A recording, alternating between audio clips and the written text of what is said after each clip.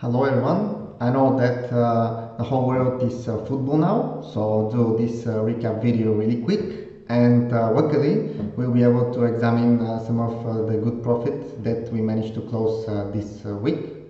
First, I'm going to talk for a trade which is a bit old. It's the trade that I've posted on uh, FTSE 100. As you can see, I've opened the chart on one hour time frame. And I think it was posted uh, several weeks ago, I think uh, three. Um, this was the entry point that I've tweeted the signal and the price was moving into a big range. As you can see, it was sort of consolidating here with several spikes. It go through the small stop loss several times. Uh, however, I've uh, spoke on my previous uh, recap that I'm using the big stop loss, so I'm still into the trade. Uh, and uh, yesterday, as soon as uh, the index opens, there was actually a huge buying pressure, buying pressure in all European indexes. Uh, there was a huge wave up, and uh, by the end of the day, the price uh, reaches almost the small target. It was staying here and consolidating on the five-minute chart. I think for half an hour.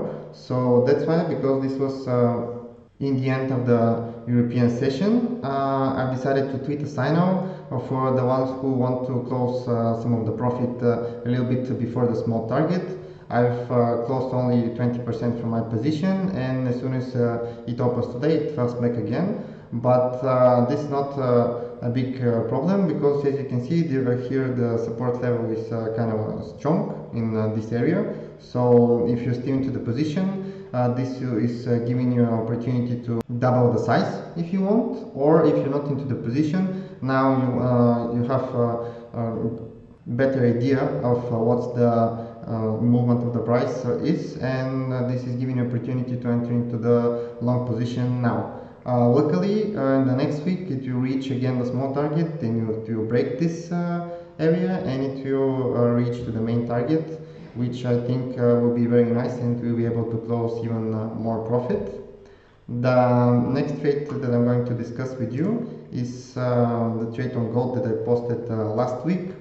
Unfortunately, um, the, here is, as you can see, I've posted signal. The price was uh, moving uh, a little bit above the buy zone. As you can see, it was uh, closing with a green candle every day. However, there was a small drop after this. Uh, it uh, started to rise rapidly, and yesterday it reaches almost actually it touches the first target.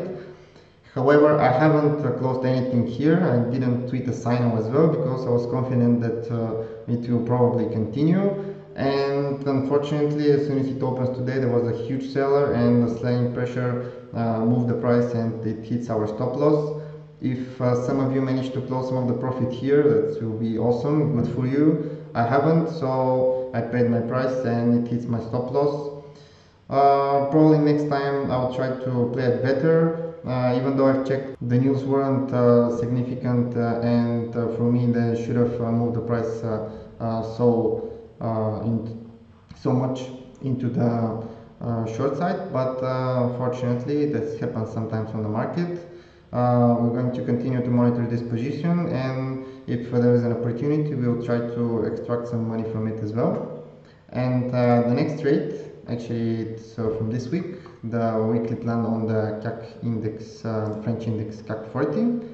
Um, as you can see, I've uh, tweaked the signal here. The price was consolidating a little bit above the uh, buying zone again. Then yesterday it oh, it opens uh, a little bit uh, down. Uh, luckily our stop was on 5400. For the ones who are following our Twitter post, they know that I've tweeted the sign on with stop loss around this area. This gives us the opportunity to stay into the trade and we managed to catch all the uh, buying pressure. I reduced 30% of the position here and now it's still uh, going up. We're still in the money. Um, as you can see the price is a little bit dropping now. My expectations now are to stop around uh, the resistance that it already breaking. Uh, here I think uh, will be uh, this uh, level will be act as a support.